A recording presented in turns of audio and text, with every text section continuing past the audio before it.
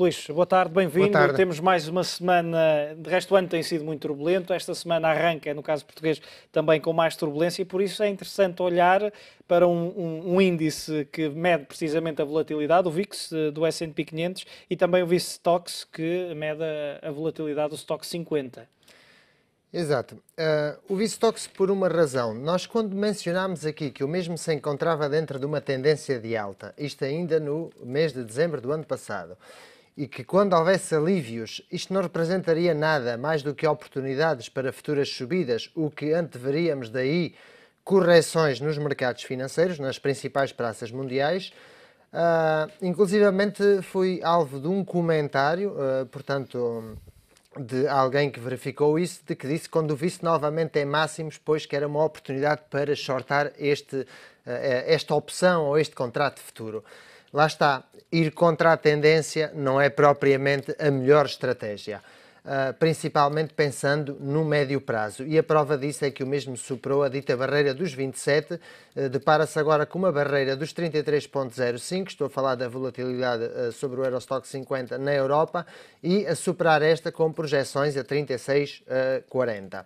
No que respeita ao índice VIX, eh, que replica, digamos assim, a volatilidade no Standard Poor's 500, no SP 500, o mesmo também se encontra numa tendência de alta, a um que eu tenho aqui colocado em gráfico de 15 minutos para melhor isso se perceber, também para se perceber que os suportes de curto prazo estão no nível de 26, depois somente o nível de 24 e só a perfuração ou perda do nível 23 para o índice VIX de volatilidade é que implica então um maior alívio para os mercados, eh, digamos assim. E quando digo alívio, é para uns mercados que estão a descer, representa subir, aliviar parte dessas grandes descidas a que os membros têm sido sujeitos.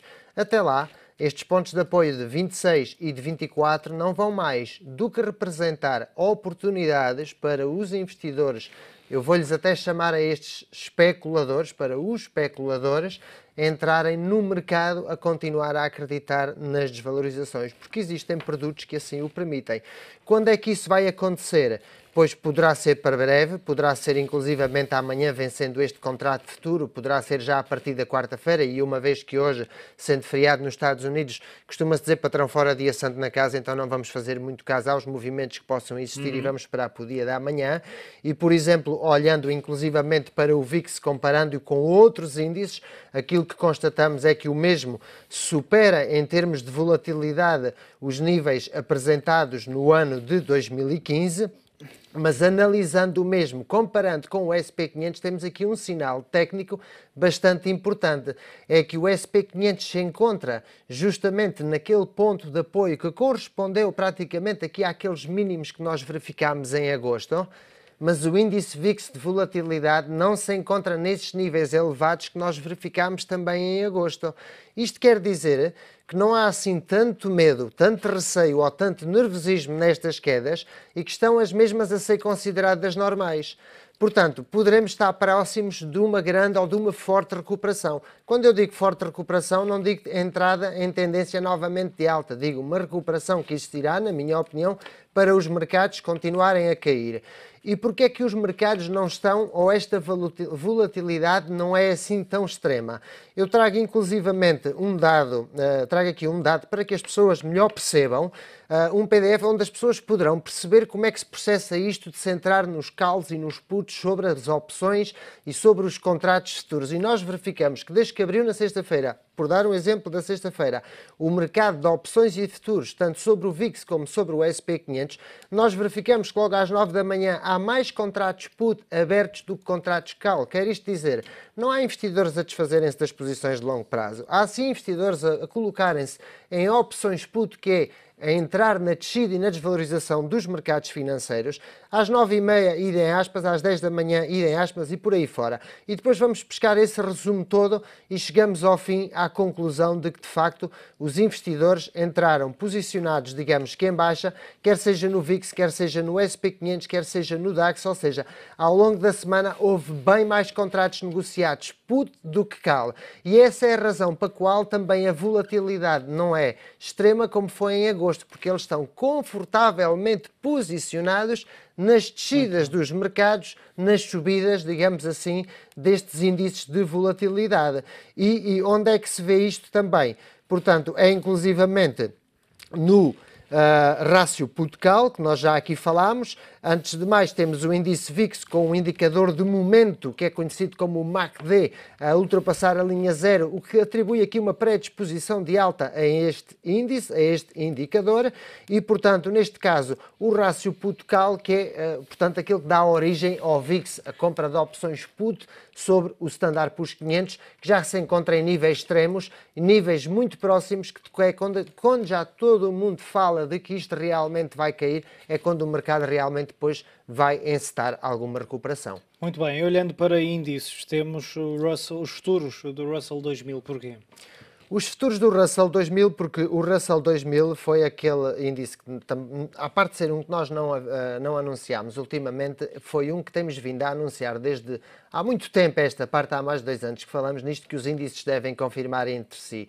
E, inclusivamente, uh, no suporte, na perda de suportes ou na superação de resistências, o devem fazer. Alertávamos quando as subidas se davam nos mercados americanos que as resistências se superavam nos outros índices, menos no Russell 2000. E o Russell 2000 ameaça aqui a média móvel dos 200 períodos, consequentemente perde já uh, com alguma distância aquele que foi os mínimos de agosto de 2015 e, inclusivamente, fecha a passada semana por baixo do nível dos mínimos de 2014, a ameaçar a média móvel dos 200 períodos. Poderá isto querer estar a antecipar de que os mercados quererão, de facto, continuar a desvalorizar, seguindo a tese daquilo que tenho vindo a defender desde o início, que teremos um trimestre ou talvez um semestre de baixa. Portanto, no que respeita ao Russell, é isso que tenho a dizer, uma vez que todos os índices mundiais têm continuado a desvalorizar cada vez mais, e conforme vimos a passada semana, a nível mundial, onde já temos o Standard Poor's 500 a perder mais do que aquilo que, uh, portanto, perdeu, inclusivamente ao longo de um ano só, perdeu nestas primeiras duas semanas. Portanto, este índice Russell é a ter em linha de conta. Muito bem, Luís, estamos a sensivelmente dois minutos do fim. Eh, parece-me, não sei se queres fazer outra seleção, eu sugeria o, o, as matérias-primas, o petróleo, porque se tem falado muito, e também era importante para os telespectadores eh, perceberem o que é que diz a análise técnica, sendo que os outros temas poderemos analisar também na próxima semana. Ok, então o petróleo. Alargada. Exatamente. Então eu vou, vou novamente repetir uma coisa que está no esquecimento de muita gente. Quem segue o petróleo para saber se o mesmo está já em mínimos ou em máximos ou em, em suportes ou em resistências, seguir o par de moedas USD-CAD. Existiu sempre essa correlação. Quando nós falámos que o mesmo estava em 1.05, havia o perigo de ir a 1.15 e a 1.28 e esse facto deu-se e a verdade é que essa essas matérias-primas continuaram a desvalorizar. A desvalorizar. Ele continua em recuperações e isto quer dizer que as matérias-primas tecnicamente continuarão a desvalorizar. Procurar mínimos para se posicionar em alta não o deverão fazer nunca na vida, na minha opinião. Existem projeções no crudo a 22.11 e a 20.28, são tudo projeções técnicas simplesmente, como é óbvio, e no caso do Brent, projeções a 25.01 e a 19.92. Terem em linha de conta que muitos brokers, e eu devo fazer esta chamada de atenção, fornecem os contratos contratos só de mês a mês, quando um vence é quando fornecem o outro, e entrar a pensar no médio prazo é incoerente sem haver um sinal de volta dado no gráfico. É preferível entrar mais tarde, o último cêntimo que o leve outro. Esta é a política que se deve adotar e é o meu conselho. Muito bem, Luís, e para a próxima semana faremos então uma análise mais alargada. Já sabe, pode enviar as suas questões para o e-mail fecho de contas.económico.pt.